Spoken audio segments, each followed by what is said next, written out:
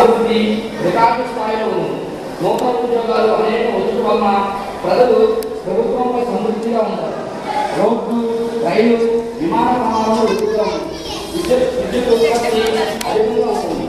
సైన్యాలకు చెంది సైన్యాలకు చెందిన సైన్యం చక్కగా పనిచేయాలి సరిహద్దు ప్రాంతాలలో మరింత కష్టం చేయాలి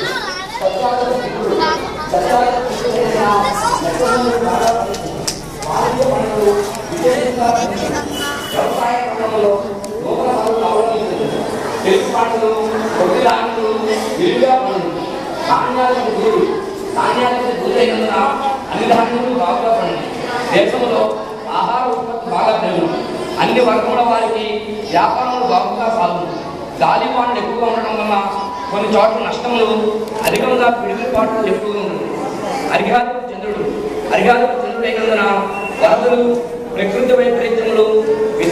দশম লোক আচ্ছা,